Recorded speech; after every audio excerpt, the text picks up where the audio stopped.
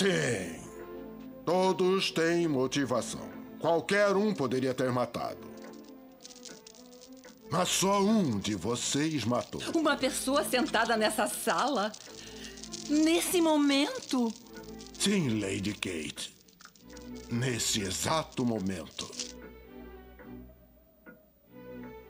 Esse jogo de gato e rato já foi longe demais, inspetor. Muito bem, então. O assassino de Lord Fenley é.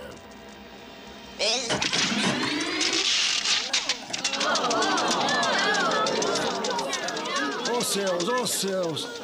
Luz, Sr. Peacock, por favor. Eu conserto num instante, num instantinho. Eu diria que é bastante improvável. Meu Deus. Agora nunca vamos saber quem foi. Parece bastante óbvio quem era o assassino. Quem, Miss Marple? Diga, foi o Sir Derek? Não acredito, Miss Giles. É improvável que tenha matado seu sócio nos negócios quando só tinha 49% das ações e o controle passaria para a irmã de Lord Fenley, uma inimiga ferrenha de Sir Derek. Aposto que foi o jovem Patife Lord Peter. Ah, impossível, Major. Com licença, querida. As únicas pistas levando à propriedade de Lord Fenley eram as trilhas de bicicleta. Mas ele odiava Lord Fenley. Sei.